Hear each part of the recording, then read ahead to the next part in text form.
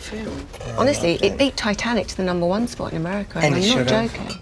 I mean, this is amazing. Sorry, So beautiful. Victoria. Do you want to tell us what we're doing today?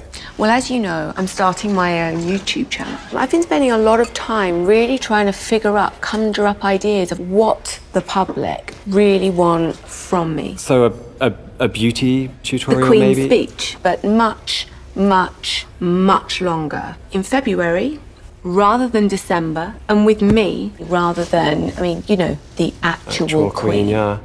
Um, I wonder if it might be a touch heavy. But the Queen does one every year, Isaac. And it's very popular. Yeah. Okay, so I'm not going to do any preamble or anything like that. I'm just going to go straight in. I think you need to at least start with like a greeting. If you can address the audience directly, people like that. Hello, fans. That was amazing. I, spot so- on, right? so good, Yeah, so really good. good. That was You're- mean, you're one amazing. take. So inspiring. How do we end these things anyway? Well, they want you to say that you can um, subscribe or ring the bell. There's a bell. Oh, I like that. So people can subscribe, they can hit the bell. Some of them like to say you can smash that bell. I'm going to tell them to really hit that bell. Smash that bell. Make that bell call him daddy.